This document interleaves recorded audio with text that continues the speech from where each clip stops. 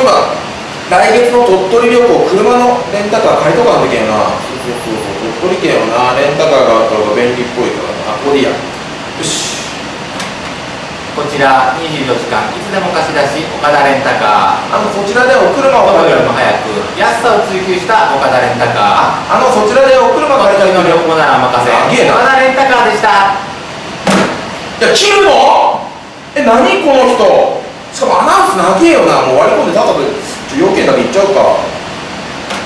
はい岡連です。いや短っ。どういったお金でしょうかああ社名役ってすごいですね。あの車を借りたくて電話したんですけど。お車ですか？はい。どういった車種がよろしいですか？あのなんか鳥取県って、はい。軽自動車の保有率がなんか1位って聞いたんで、はい。ちょっと僕もせっかくなんでちょっと軽自動車借りたいです。ってあります？軽自動車です。かしこまりました。ただお客さん申し訳ございません。一つ言い忘れていたことがございまして。はいこちら24時間。えまたそれ？岡田レンタカー。また言うの？どこよりも早く安くうまく。ま岡田レンタカー。くうまくっておかしいでしょ。鳥取の旅行なら任せ岡田レンタカーでした。え切った！え何こいつ？